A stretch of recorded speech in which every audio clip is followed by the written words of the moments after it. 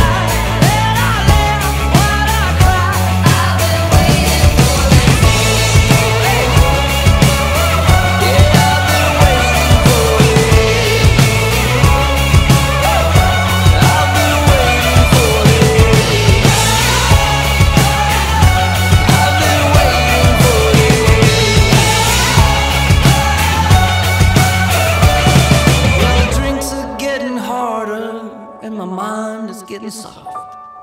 In the car, yeah, I would start her if I learned to shut it off. But the drive keeps me alive.